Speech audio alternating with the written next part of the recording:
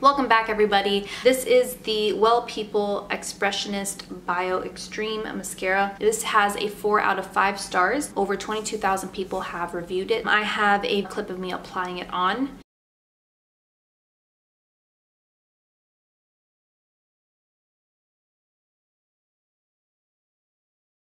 This is the brush.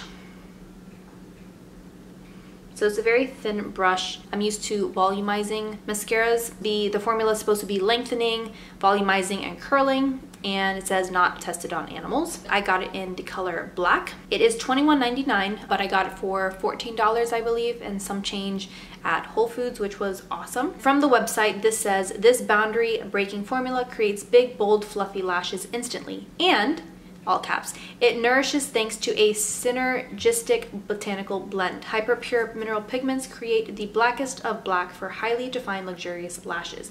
Our new high-tech brush design with injection molded rubber and a unique cascade shape precisely separates the thinnest, shortest, hard-to-reach lashes by expertly scooping up and lengthening each one while delivering just the right amount of product. This Wonder Wand works for both tightlining and building. We know because it's been through rigorous professional testing. You can feel confident in making a beautiful choice because there are no harsh artificial chemicals or petroleum derivatives that can irritate the sensitive eye area.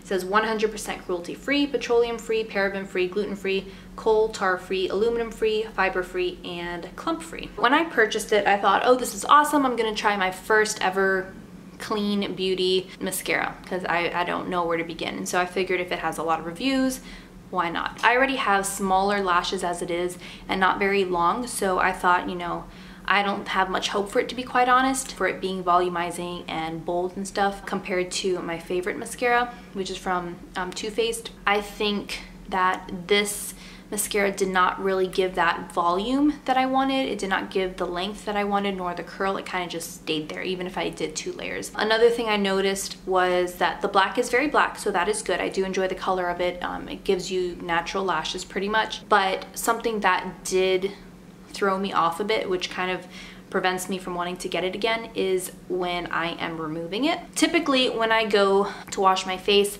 I don't remove any um, I don't remove any makeup beforehand. I just put the soap on and wash my face and it'll go away. But I noticed that whenever I wear this mascara, my eyes start to sting. I don't know why. I've never had this happen before, but it does sting my eyes and I'm, it's not comfortable at all, obviously. If something's stinging you, there has to be something wrong with it. I don't know if I'm allergic to something in this formula or if it's just that's natural. I, I have no idea, but it does bother me. And so it kind of prevents me from wanting to wear it again just because I don't like the feel of it obviously. I do notice however that if I do like pre-remove my mascara with like a cotton ball and a makeup remover it does kind of help to subside the pain later on but I do notice that it still is pretty noticeable that it's still gonna sting me regardless so I, I don't know what's going on there. I don't know what what's causing that to happen. I haven't really ever been allergic to any type of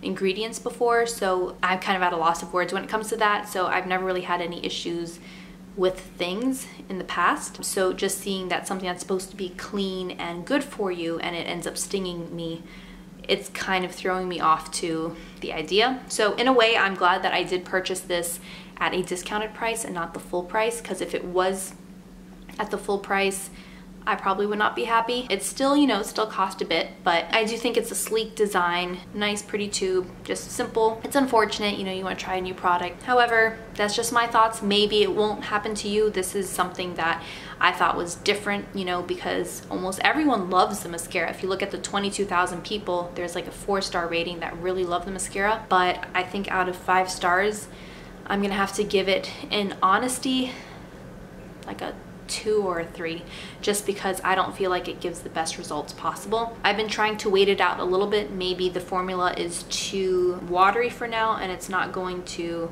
you know, you know, sometimes you have to use the mascara for a while before it actually starts getting drier and actually works. I find that this formula is a little bit more on the wet side. So maybe it just needs to kind of dry down a bit before it gets more of that volume and the curling and the luscious lashes, you know, the luxurious lashes.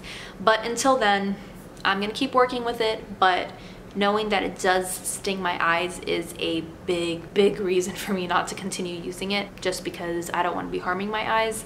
And it's kind of difficult, especially when they say this is not supposed to harm you.